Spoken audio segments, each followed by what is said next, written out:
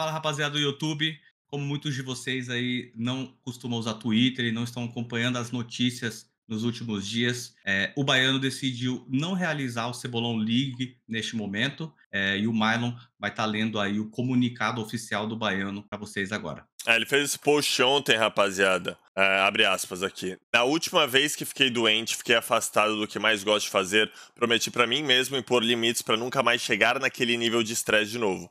Nesses últimos dias venho me sentindo exausto de uma forma que beira estes limites e isso me forçou a tomar algumas atitudes. Gostaria de dizer que o Cebolão é um projeto que criei e sempre fiz todas as edições com paixão e entrega. Nunca me importei de fazer sacrifícios, até financeiros, para ele acontecer da melhor forma para todos. Mas ele tem ficado muito pesado para mim nesses últimos dias, fazendo eu quebrar as promessas que fiz a mim mesmo sobre cuidar da minha saúde física e principalmente mental. Fecha aspas aqui. Mano, é que o. É foda, né, Zinha? Porque o, o Cebolão, né? E o Cebolão Cebolão League, mais especificamente, é como se fosse o filho do baiano, né, mano? É. Então, ele tipo... sempre dedicou muito a carreira é. dele, especialmente para o Cebolão, né? Tanto que nesses últimos tempos, às vezes ele não aparecia no programa e tal, e ele tava, tipo, tudo cuidando do projeto, rapaziada.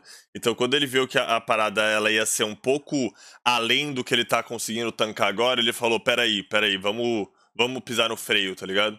Vamos continuar aqui. Trazer inovação, criar coisas novas, buscar novas perspectivas, amadurecer como comunidade, criar novas oportunidades para todos e nos unir em busca de ter o protagonismo que a comunidade brasileira merece são coisas que sempre busquei e me dediquei ao máximo, independente do desgaste a nível pessoal.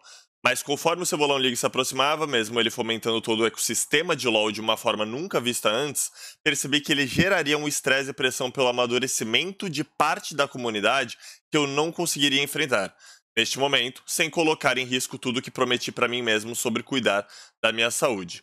Então resolvi que este não é o melhor momento para ele acontecer e por isso decidi que não vou realizar o Cebolão League no momento. Quero construir este projeto que vai ajudar a desenvolver ainda mais a comunidade de forma a ter todos comigo nele e para isso preciso de mais tempo. Aí ele finaliza aqui falando que é, não gostaria de dar mais detalhes agora, porque ele ainda vai refletir.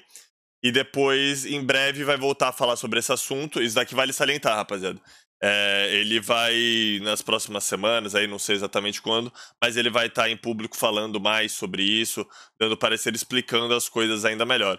E daí ele fala que para todos que se exportam comigo, gostaria de dizer que vou aproveitar isso para ficar mais uns três dias off com a minha família aqui na Bahia e longe do Twitter, para voltar para as lives e acompanhar com vocês a Loud fazer história no MSI. Daqui vai ser maneiro. Perfeito. É, então basicamente ali ele falou realmente que ele vai tirar uns, esses dias aí para pensar, né, Mailin?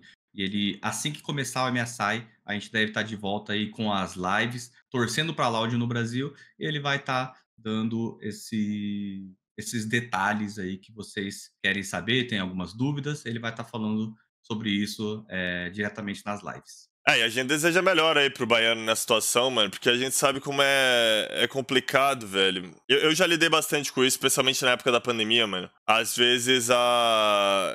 as coisas elas acabam sendo demais pra nossa mente. Então, ele, tipo, simplesmente ser honesto nesse momento e falar, velho, não vai dar agora.